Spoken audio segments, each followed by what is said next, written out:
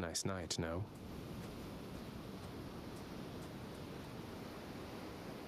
I was reviewing the terms of the Pact of Punishment to which you are bound.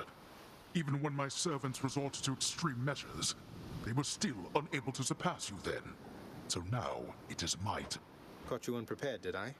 After Theseus and his Macedonian, I have expected to see you thundering around on some golden chariot of your own drawn by sable steeds.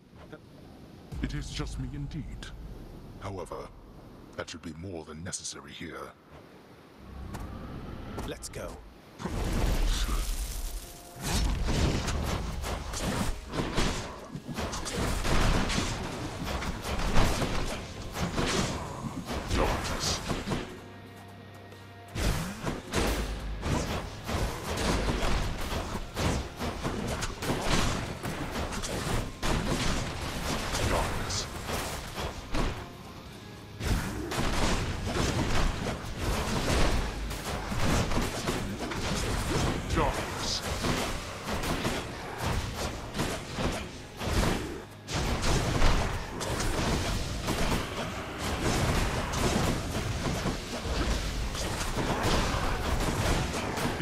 darkness wretches and destroy him now.